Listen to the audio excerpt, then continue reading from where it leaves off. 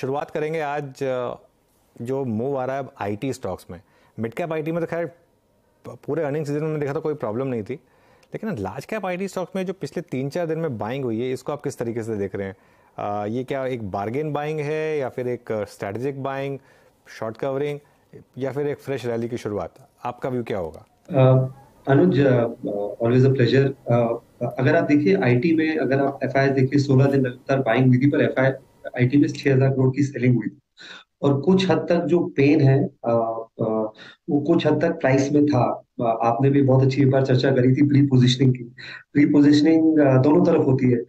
अच्छे नतीजों को लेके भी होती है और खराब न्यूज़ को लेके भी होती है। मुझे लगता है थोड़ा सा कुछ एक पॉकेट्स में जैसे एल टी आई माइंट्री है वहाँ पर मुझे लग रहा था कि थोड़ा सा ज़्यादा नेगेटिविटी थी जब से मर्जर हुआ तब से ही थी।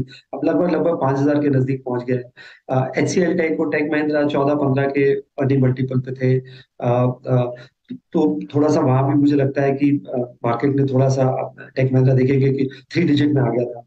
Uh, कुछ मिड कैप आईटी के नंबर बहुत अच्छे आए। परसिस्टेंट का नंबर बहुत अच्छा था। केपीआईटी ने तो खैर बहुत ही अच्छा परफॉर्मेंस दिया। आगे का गाइडेंस भी अच्छा दिया है। थोड़ा सा हमने टाटा एलेक्सी में भी देखा कि जिस हिसाब से कंसर्न था ईआरडी स्पेस पे, उतने खराब नतीजे नहीं आए। तो थोड़ा सा थोड़ा सा वहाँ भी लगभग सात हज़ार के आसपास स्टॉक है।